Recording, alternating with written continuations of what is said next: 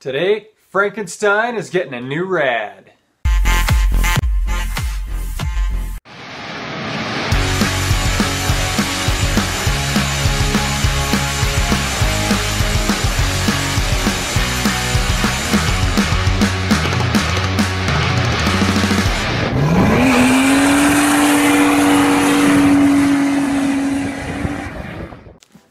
Okay, so let's start with unboxing this thing. So obviously this is a Yonaka Motorsports performance radiator. It's uh, an aluminum dual core.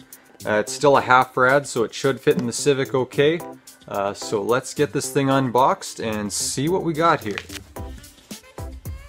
Of course, to start off, we got ourselves some stickers. Add those to the collection. Looks like I got a toque.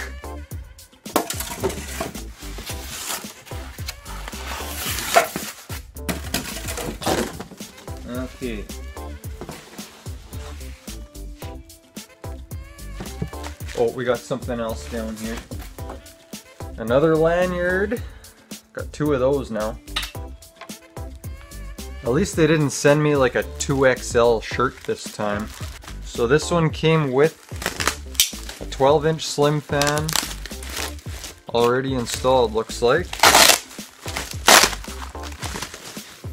With the aluminum shroud.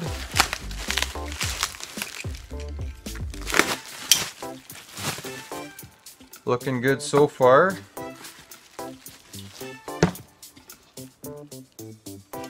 Yeah, looks pretty good. Should be a direct bolt on, so we'll see how it fits. I'm still worried about uh, the fan, whether or not it's going to hit the slave cylinder or not. So currently I have the, the factory fan mounted on the front side, so I may end up having to do that with this as well, but I won't know until I test fit it, so let's get into that. Alright, so first thing I'm to do is pop the hood on Frankenstein here. Uh, we got to drain all the coolant out of the rad that's in there now, uh, get that thing out of there, and then uh, we'll see how well this one fits.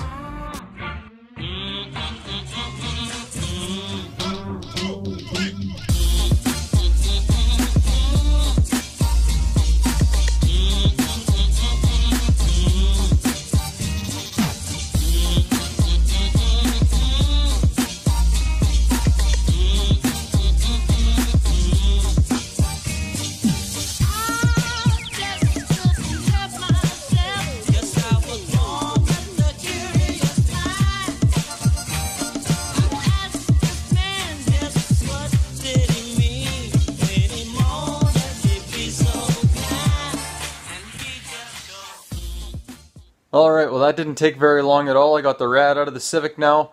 Uh, so let's have a look at both of them side by side before I put the new one in. So in looking at both of them side by side, they look very close, so it should bolt right in, I would think. Um, everything seems to be in the same places, so the hoses should be good to line up properly. Um, again, the only thing I'm really worried about is whether or not this fan is going to clear the clutch slave cylinder because it's very close and it was already pretty close on the stock rad without the fan. So we won't know until we try. But looking at them here, this one looks quite a bit thicker than the stock one, like as you can see from the side. Kind of this is this is how thick the core is on uh, the factory one If you come along to the side of this one, it's at least twice that. So we'll be able to run twice the amount of coolant through the rad, so hopefully that'll help me with my uh, cooling problems on the track. Anyway, let's get this new one installed and see how it fits.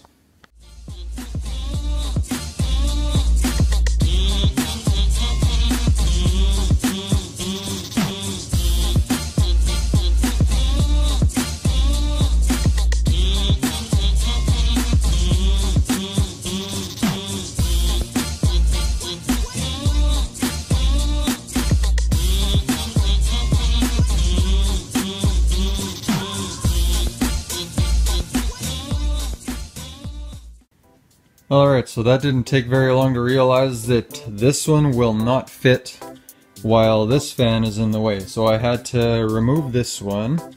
So if you've seen our older videos, you kind of know uh, how we had this one set up. But basically it was mounted on the front side of the stock rad. So it would have been on the other side of the rad support here. And at that point, it did not come into contact with the stock rad, but in trying to test fit the new one, it was in contact with it. So I've removed it now. Hopefully that gives us the little bit of extra room that we need, and then we can clear everything with this one. I really hope I don't have to remount this fan because it would be nice to keep it uh, as this setup the way it's supposed to be. Uh, so let's do the test fit now and see how it fits. A few moments later.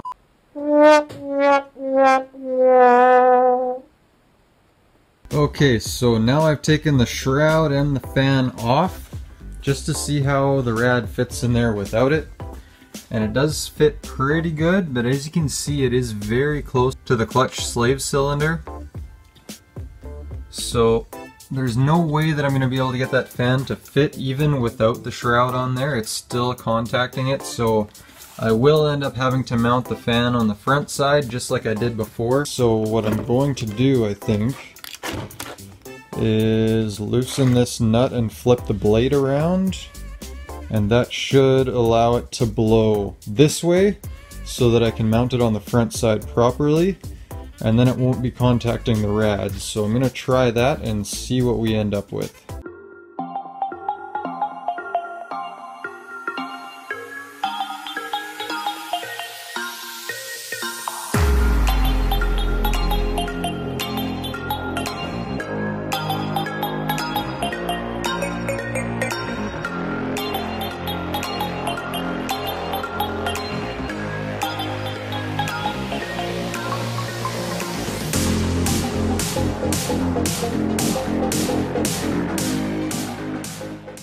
Okay, well that seems to have worked. I reversed the fan blade and uh, hooked it up to the battery and now it's blowing.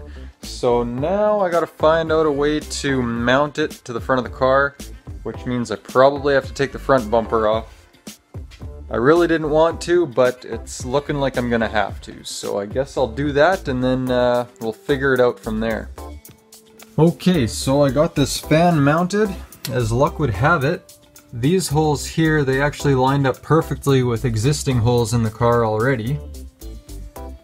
So it just bolted right in, so that's perfect.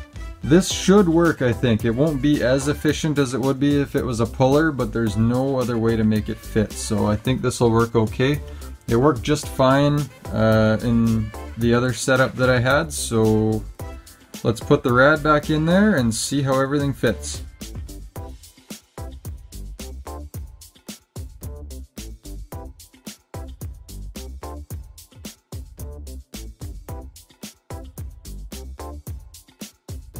Alright, the rad is installed. I got it filled with coolant now. I bled the system, so I think we're good to go. I didn't see any leaks so far, so fingers crossed we did it right.